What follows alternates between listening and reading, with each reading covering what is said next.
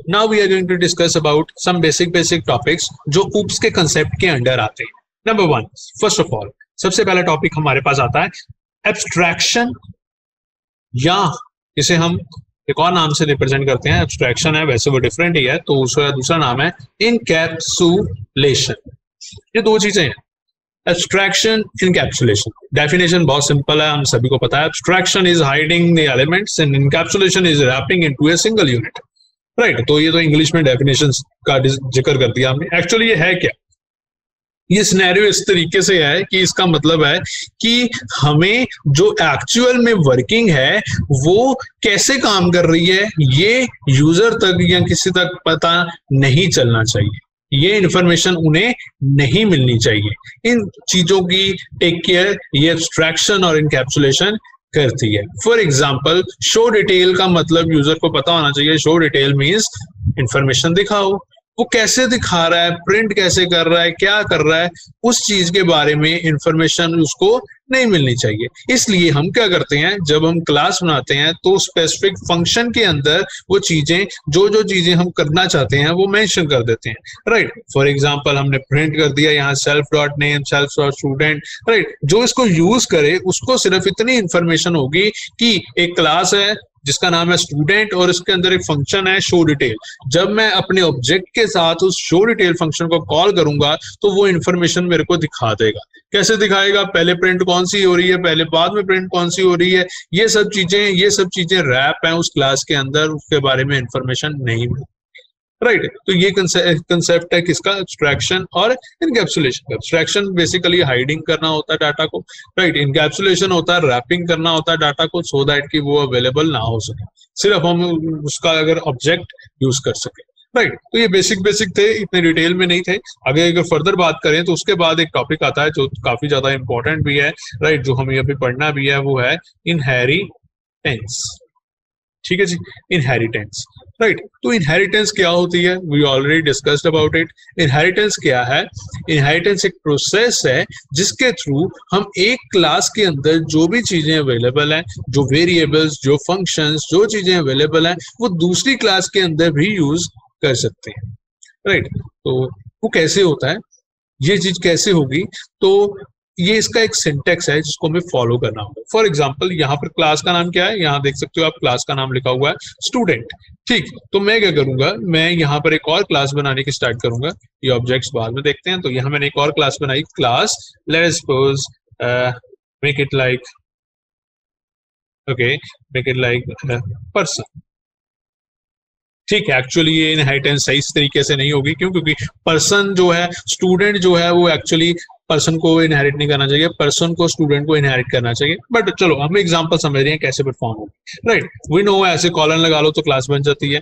ना अगर हमें कोई क्लास को इनहेरिट करना है तो हम क्या करेंगे? जैसे अभी मैं इसके अंदर लिख देता हूँ पास राइट तो एरर हट जाएगा जैसे अभी एरर आ रहा था। सो so, वही चीज़ मैं एक्सप्लेन कर रहा हूँ यहाँ एम क्लास है। जैसे ही मैंने इसके अंदर पास लिखा तो वो एम क्लास खत्म हो गई और एरर जो है वो भी खत्म होगा अब इनहेरिटेंस करनी है तो क्या करना होगा? हमें पर्सन जो क्लास है, उसके बाद हम सर्कुलर बेसिस डालेंगे और उस सर्कुलर बेसिस के अंदर उस क्लास का नेम लिख देंगे, जिसको हम क्या करना चाहते हैं? इनहेरिट करना चाहते हैं। तो मींस क्लास पर्सन उसके अंदर स्टूडेंट लिखने से क्या होगा? जो ऊपर हमारे पास क्लास है, वो इनहेरिट हो चुकी है किसके अंदर? पर्सन के अंदर। अब स्टूडेंट के अंदर कितनी चीज़ें हैं? जो जो चीज़ें अवेलेबल हैं these all things comes under person तो ये सारी चीज़ें किसके अंदर आ जाएँगी? पर्सन के अंदर आ जाएँगी। राइट अब जब भी हम पर्सन को कॉल करेंगे तो हमें ये सारी चीज़ें अवेलेबल होंगी। राइट तो ये तो होगी इनहाइटेंस अगर जनरली बात करें इनहाइटेंस तो बहुत ज़्यादा तरह की है। Single inheritance multiple inheritance and so on अगर मल्टीपल करना होगा तो क्या करेंगे? यहाँ हमने एक लिखी क्लास कॉमा डाल के हम दूसरी क्लास का नाम लिख देंगे। पहली क्लास होगी कॉमा दूसरी क्लास होगी और वो इनहाइटेंस परफॉर्म हो जाएगी। राइट तो I am just checking it out अब हम इसको रन करके देखते हैं थोड़ा सा। तो मैंने यहाँ पे क्या कर दिया? अभी ये जो कोड लिखा हुआ था, इसको मैंने डिलीट कर दिया। अब मैं यहाँ पर्सन का ऑब्जेक्ट बनाने की कोशिश करता हूँ। तो मैंने यहाँ लिखा let suppose Ram equal to I am writing person okay right तो राम इक्वल टू पर्सन कर दिया मैंने। सी अब मैं लिख रहा हूँ राम डॉट अब देखो हमारे पास फ़ीस भी अवेलेबल है शो डिटेल्स भी अवेलेबल है स्टैंडर्ड भी अवेलेबल है नेम भी अवेलेबल है कॉलेज भी अवेलेबल है एंड सो ऑन ठीक है लेट सपोज़ मैं शो डिटेल्स कॉल करता हूँ। ठीक, अभी देखो मैंने वैल्यूज़ प्रोवाइड नहीं की, वैसे मुझे प्रोवाइड करनी चाहिए थी। राइट यहाँ पे जो हम कंस्ट्रक्टर है, उसको वैल्यू प्रोवाइड करनी चाहिए थी। राइट मैंने वैल्यू प्रोवाइड नहीं की, इसको हम सेव करते हैं, हम शो डिटेल कर रहे हैं। तो मैंने जैसे इसको रन किया तो एरर आ गए बहुत सारे। राइट? वो कह रहा है कि मिसिंग थ्री पोजिशनल आर्ग्यूमेंट ठीक मतलब हमें यहाँ पे आर्ग्यूमेंट देने पड़ेंगे। तो मैं यहाँ आर्ग्यूमेंट दे रहा हूँ। पहला मैंने दे दिया राम। ठीक है जी? नेम हो गया।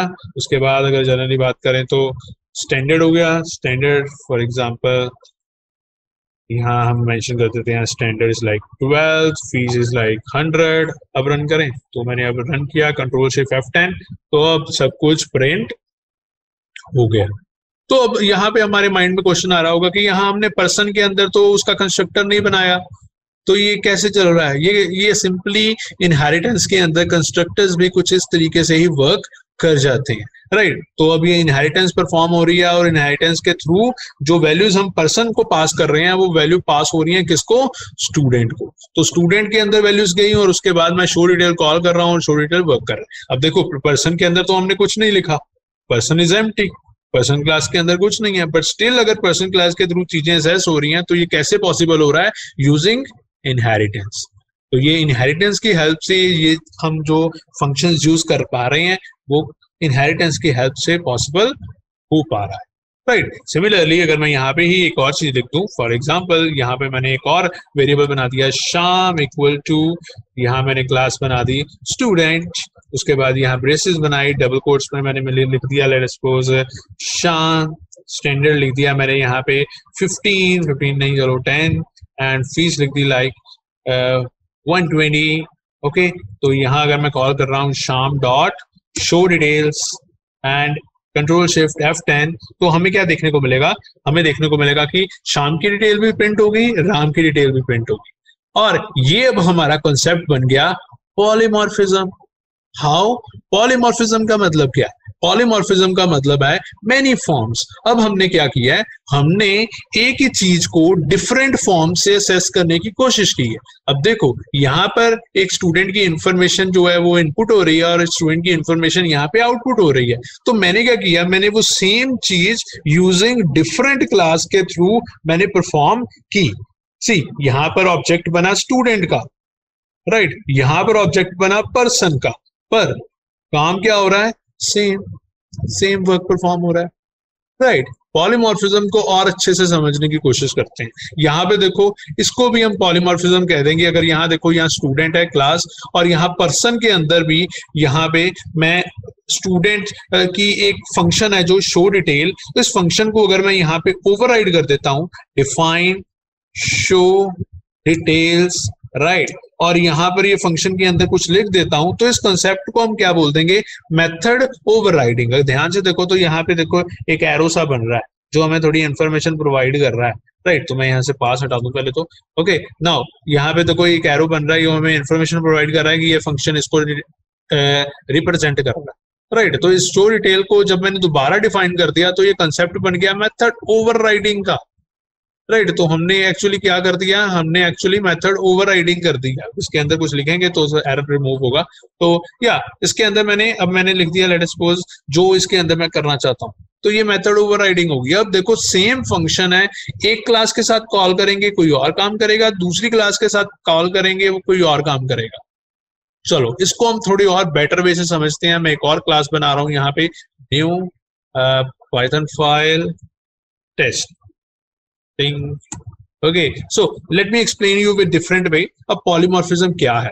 सबसे इजी एग्जांपल से समझाने वाला हूँ। मैंने यहाँ लिखा प्रिंट 33 प्लस 22 तो इस प्रोग्राम की अगर रन करता हूँ तो क्या आउटपुट आएगी? इसकी मुझे आउटपुट दिखाई थी, इसको मैं ऊपर करता हूँ, इसकी मुझे आउटपुट दिखाई दी 55 राइट right. तो मतलब जब हम प्रिंट के अंदर दो नंबर लिखते हैं तो वो उन्हें प्लस करके दिखा देता है। बट अगर वही प्रिंट के अंदर मैं दो नंबर लिखूं डबल कोट्स के अंदर तो वो मुझे क्या कर देगा? वो इन दोनों नंबर्स को कनकैटिनेट कर देगा।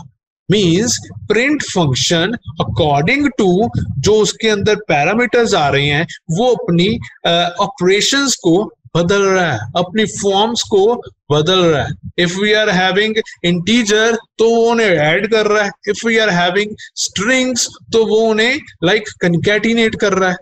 अदर स्ट्रिंग्स के अंदर भी तो नंबर ही है बट स्टिल इट्स कंकैटिनेटिंग तो ये क्या हुआ? ये एक एग्जांपल हुई पॉलीमॉर्फिज्म की. मींस एक चीज़ की एक से ज़्यादा फॉर्म्स हो सकती हैं.